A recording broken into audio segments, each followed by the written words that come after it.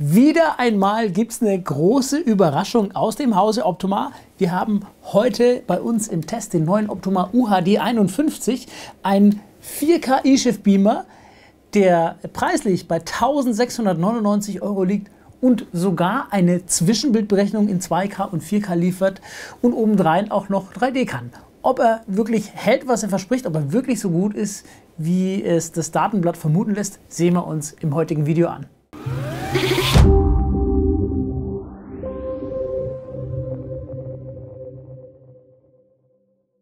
Hallo zu den Heimkinoraum Video News. Mein Name ist Christian Obermeier.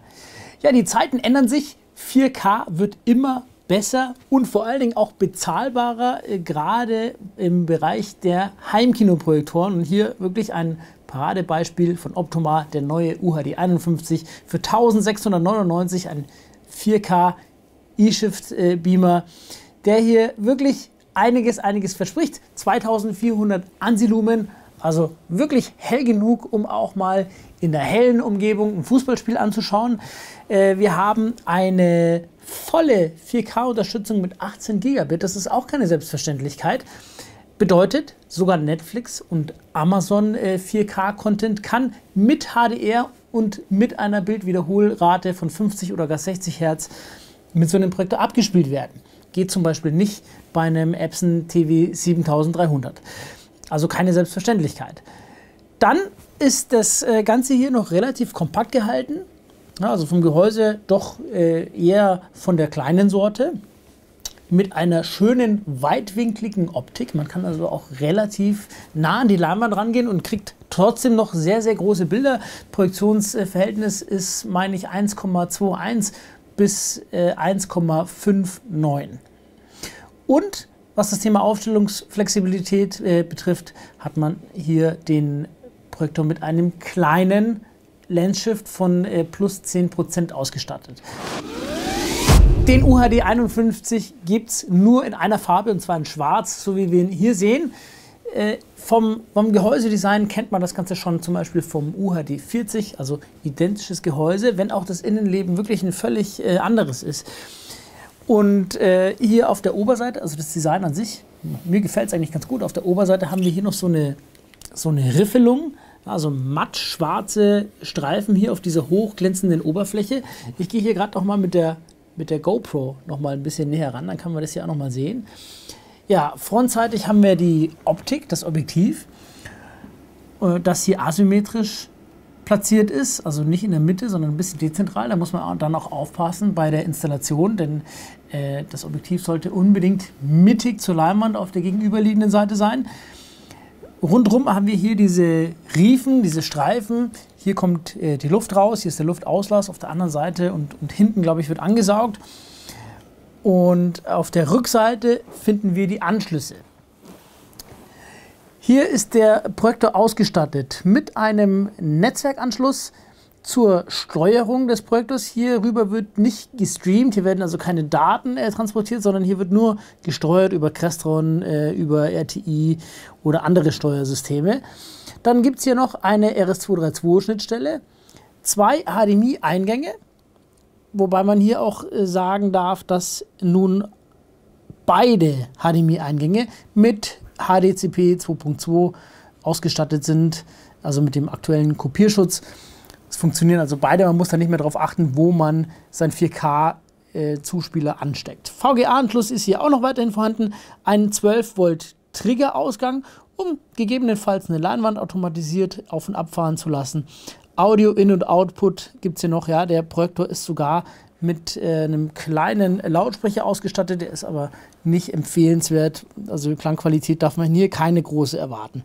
Einen USB-Anschluss gibt es hier noch zur Spannungsversorgung mit 1,5 Ampere. Hierüber kann man dann zum Beispiel so einen Google Chromecast oder einen Fire TV Stick äh, direkt anbinden und spart sich dann entsprechend das Netzteil. Einen optischen Tonausgang gibt es hier auch noch. Ja, und hier oben noch einen kleinen USB-Anschluss, der ist aber nur für Servicezwecke gedacht. Mit der Kunststoffoberfläche muss man wirklich vorsichtig sein. Die ist ziemlich kratzempfindlich, also hier nur ganz weiche äh, Tücher verwenden. Man kann, wenn hier so ein Kratzer mal entstehen sollte, die mit einer mit so einer Handy-Display-Politur zum Beispiel äh, vorsichtig rauspolieren. Das geht auch. Der Optomar ist natürlich auch für den Deckenbetrieb vorgesehen. Man kann ihn also umgedreht an eine Deckenhalterung hängen, die es natürlich auch bei Heimkinoraum gibt. Und dazu hat der auf der Geräteunterseite drei kleine, das dürften M4-Gewinde sein, um ihn entsprechend an die Deckenhalterung zu befestigen. Bei der Installation, bei der Aufstellung muss man hier ein paar Dinge beachten. Der Projektor hat einen relativ großen Zoom-Bereich, 2,21 bis 2,59, ist aber sehr weitwinklig ausgelegt, heißt, wir kriegen schöne große äh, Bildbreiten auf kurze Distanz. Man muss allerdings hier aufpassen, wer eine kleine Leinwand haben möchte und vielleicht einen sehr langen äh, Wohnraum hat und man will den Projektor unbedingt hinter sich irgendwo montieren, ja, da kann es schon ein bisschen äh, kniffliger werden. Wer es genau wissen will, findet unter unten stehenden Link unseren Bildbreitenrechner auf unserer Website. Da kann man dann genau eintragen, wie breit ist meine Leinwand, wo kann der Projektor stehen oder andersrum, wo muss der Projektor stehen, wie groß kann dann meine Leinwand sein. Der äh, Projektor projiziert, wenn er steht, leicht nach oben leicht nach oben mit einem Offset von 5%. Das bedeutet, die Bildunterkante fängt auf der gegenüberliegenden Seite 5% der Bildhöhe über der Linsenmitte an. Da geht es also los. Projiziert leicht nach oben. Wenn wir den umdrehen, an die Decke hängen, dann projiziert er eben leicht nach unten, kommt in der Regel den meisten Nutzern zugute. 5% Offset reicht aber meistens nicht aus und äh, dazu verfügt der Beamer über einen kleinen Lensshift. Der ist äh, ja, jetzt nicht der allergrößte, aber bei DLP-Projektoren überhaupt ein Lensschiff zu finden, ist schon mal äh, relativ untypisch, ist nämlich gar nicht so einfach, äh, wenn man hier noch einen hohen Kontrast erreichen will, einen Lensshift zu integrieren. Das hat Optoma dem Gerät aber spendiert und auch äh, ohne Qualitätsverlust, ohne Kontrasteinbußen und zwar ein Lensshift von plus 10%. Das heißt, über diesen kleinen Regler hier oben kann man das Bild noch weitere 10% der Bildhöhe nach oben shiften, beziehungsweise wenn er eben an der Decke hängt, nach unten shiften. Und so kriegt man eigentlich in allermeisten Fällen das Bild wirklich auf die Position, äh, wo es sein soll.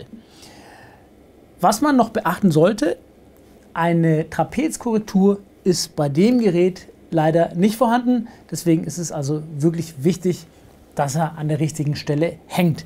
Man kann jedoch auch den Winkel noch etwas einstellen. Also wer jetzt, äh, wem das Landshift immer noch nicht ausreicht und man will jetzt einfach mal hier für irgendeine besondere äh, Situation das Bild noch höher haben und man hat es auf dem Tisch, so wie wir hier, dann kann man einfach hier unten an diesen Rädchen drehen, also wie man es hier jetzt gerade sieht, den, den vorderen Fuß etwas rausschrauben und dadurch ähm, das Bild etwas, bekommt dadurch das Bild etwas höher.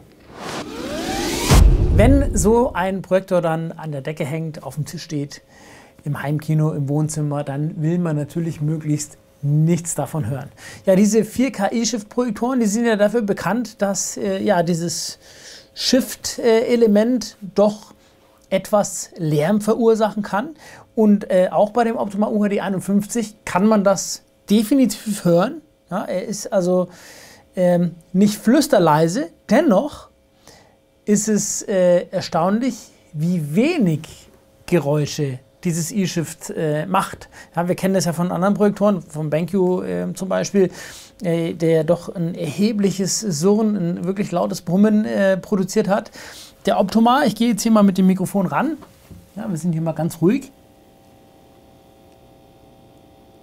Der hat diesen dumpfen Brummton auch.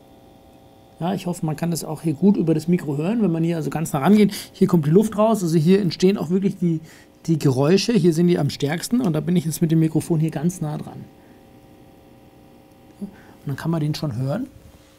Und wenn ich mich jetzt hier ein bisschen entferne davon, ja, dann kann man es immer noch hören. Aber es ist wirklich so leise, dass ich es jetzt äh, keinesfalls wirklich als störend bezeichnen würde. Also akzeptabel äh, von mir, ein Daumen hoch, der dürfte also auch in meinem Wohnzimmer an der Decke hängen. Bedient wird der Optomar mit einer neuen kompakten kleinen Fernbedienung, die wirklich gut in der Hand liegt. In der Hand liegt, die ist auch so ein, ja, so ein äh, so ein angerauter Kunststoff, also die rutscht auch nicht, die ist eigentlich wirklich, macht einen total soliden Eindruck, ist auch ein bisschen schwer, macht einen guten Eindruck. Aber So ganz durchdacht ist sie leider nicht, denn ich wünsche mir, wenn ich abends in meinem Heimkino einen Film anschaue und ich will da hier schon noch schnell was einstellen, dann wünsche ich mir eigentlich eine hintergrundbeleuchtete Fernbedienung. Das ist sie nicht. Das heißt, keine beleuchteten Tasten. Und äh, was hier auch wirklich selten doof ist, muss ich jetzt einfach mal so sagen. Also liebe Freunde bei Optima, wenn ihr dieses Video seht, die Enter-Taste.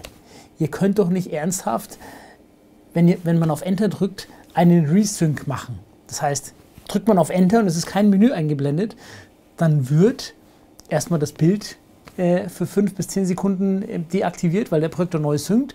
Ja, und dann dauert es halt, muss ich einfach diese fünf bis zehn Sekunden abwarten, bis mein Bild wieder da ist. Durch Drücken der OK-Taste oder Enter-Taste. Also, das ist wirklich ein Punkt, das äh, dürfte Rück mal ein bisschen besser machen bei der nächsten Generation.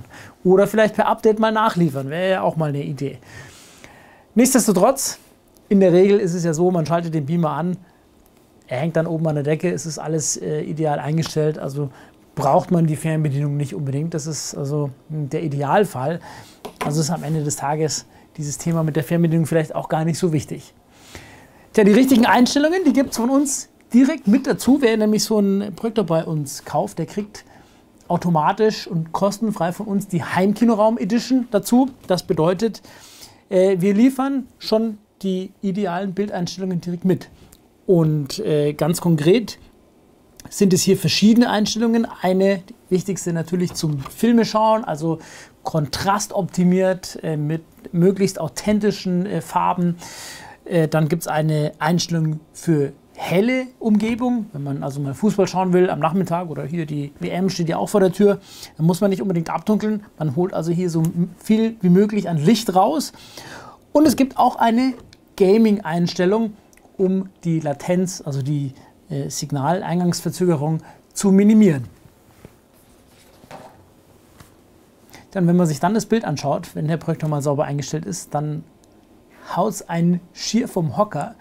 Äh, wir haben es hier wirklich mit einem 4K-Beamer zu tun, der eigentlich in einem ganz anderen Bereich reviert. Reviert, in einem ganz anderen Revier wildert, so rum wollte ich es eigentlich sagen.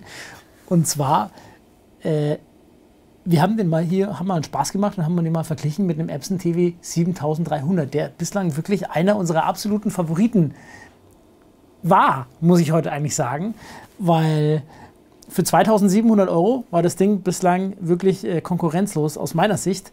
Äh, jetzt kriegt man schon für 1700 Euro ein Beamer mit 18 Gigabit Signalverarbeitung, mit einem ganz ähnlichen Kontrast wie der äh, 7300er, mit noch mehr Schärfe, mit noch mehr Detailauflösung durch dieses Vierfach äh.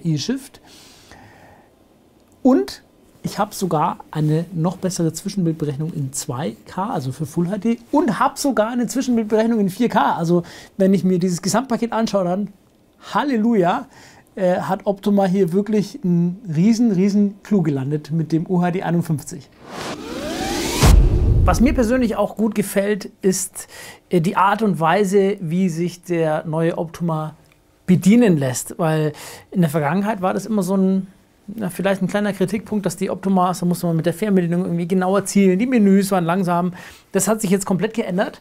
Äh, auch die ganze Struktur, die Menüstruktur, die Benutzerführung ist hier neu und verbessert worden. Und man kann hier wirklich super schnell durch die ganzen äh, Bildeinstellungen navigieren. Äh, man hat hier, wenn man auf Home drückt, eine neue Oberfläche im Hintergrund, eine neue Benutzeroberfläche. Äh, hier kann man dann eben schnell mal die Quellen auswählen, kann die Einstellungen vom Projektor äh, ändern. Leider noch nicht äh, streamen. Also man hat ja keine Möglichkeit per USB zum Beispiel Fotos anzuspeisen oder ähm, Videos abzuspielen oder auch übers Netzwerk. Solche Dinge sind noch nicht möglich. Da braucht man also weiterhin äh, externe Geräte, aber ja, das Menü lässt eigentlich schon vermuten, wohin die Reise vielleicht geht. Also das gefällt mir gut. Einfach, dass die ganze Bedienung sehr, sehr flüssig vonstatten geht und nicht mehr so hackelt, wie es in der Vergangenheit der Fall war. Was wirklich zählt, ist natürlich die Bildqualität. Und die ist, naja, überraschend gut, darf man nicht sagen. Man hat ja doch schon äh, sehr hohe Erwartungen gehabt. Wenn man sich hier mal eine Szene anschaut aus äh, Casino Royale, unsere äh, beliebte Szene, die wir gerne zum Vergleich immer hinzuziehen, Projektor ist jetzt hier eingestellt in unserer Heimkinoraum Edition, Da haben wir also schon einiges rauskitzeln können. Ja, dann sehen wir, er liefert einfach einen Wahnsinnskontrast. Wir haben äh, ein tiefes Bild, authentische Hauttöne und vor allen Dingen arbeitet die Zwischenbildberechnung auch sehr gut. Also die arbeitet hier ja, fast artefaktfrei. Man muss hier auch ein bisschen aufpassen, äh, wie man die dosiert. Wenn man sie zu hoch dosiert, dann äh, steigt sie ganz gern mal aus. Aber in der mittleren Einstellung funktioniert sie wirklich richtig, richtig gut in 2K und, das werden wir später auch noch sehen, in 4K genauso gut. Also das macht hier schon viel Spaß. Man hat ein ruhiges, ein flüssiges Bild. Hier an der Stelle sei auch noch äh, bemerkt, der Regenbogeneffekt ist auch relativ stark zu vernachlässigen. Ich bin da eher ein empfindlicher Mensch. Ich kann ihn auch sehen, ja, äh, kann ich wahrnehmen. Gerade wenn man sich auch andere Dinge anschaut, wie Star Wars zum Beispiel, die sehr hoch im Kontrast sind, aber stört mich jetzt wirklich überhaupt nicht. Ist also jetzt nicht, ähm, nicht stark da, nicht störend äh, präsent. Beim Sternenhimmel von Star Wars, da sieht man, ja, der Schwarzwert, der könnte noch ein bisschen besser sein. Der ist wirklich gut, ist absolut brauchbar. Man kann jetzt also nicht sagen, er hat hier einen schlechten Schwarzwert, aber da würde ich sagen, kann man noch ansetzen, äh, um noch was zu verbessern. Ansonsten leuchten die Sterne wirklich schön hell. Man sieht auch, wie schön unterschiedlich hell die leuchten, wie differenziert äh, das Bild hier in diesem Sternenhimmel ist. Und man sieht auch wirklich alle Sterne. Die sind auch scharf. Also im Großen und Ganzen wirklich äh, auch ein ein super Bild, wenn es mal richtig dunkel wird. Also auch für dunkle Serien, dunkle Spielfilme super geeignet. Der hat einen tollen Kontrast. Ja, mit dem kleinen Hinweis in puncto Schwarzwert. Da kann man vielleicht noch optimieren. Da kommt aber vielleicht noch äh, was von uns, äh, ein Zusatz, mit dem man den Projektor unter Umständen noch tunen kann. Da sind wir mal gespannt. Wenn sowas kommt, kann man es natürlich auch jederzeit nachrüsten, wer so ein Projektor dann äh, bei uns gekauft hat. Tja, und jetzt kommen wir mal zur Königsdisziplin, würde ich sagen, und zwar zu 4K HDR.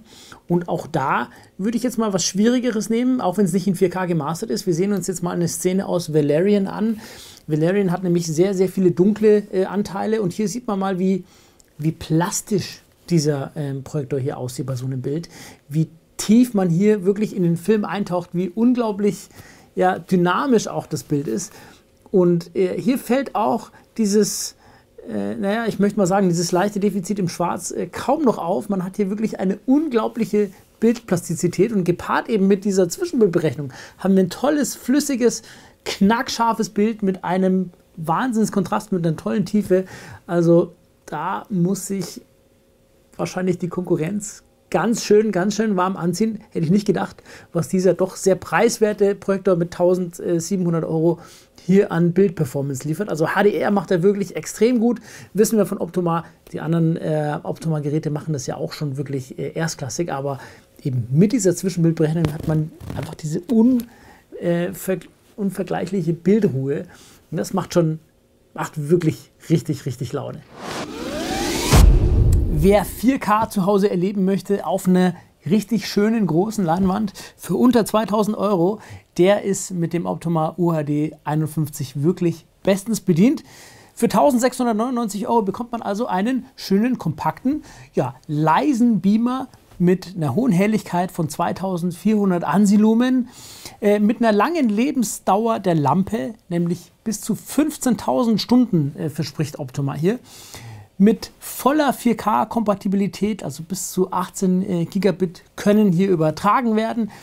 Äh, und das Ganze noch gepaart eben mit einer grandiosen Zwischenbildberechnung, die in 2K schon super funktioniert, aber eben auch äh, bei 4K-Zuspielung noch aktiv ist. Und so kommt man in den Genuss von schönen, äh, ruhigen Kameraschwenks zu ja, unglaublich plastischen und realistischen äh, Fußballbildern. Wenn man sich also hier so ein Fußballspiel anschaut, ganz egal ob äh, Ultra HD oder nur Full HD, habe ich einfach einen schönen äh, Ball, der fliegt, kein Geschmiere mehr, äh, kein Ruckeln mehr.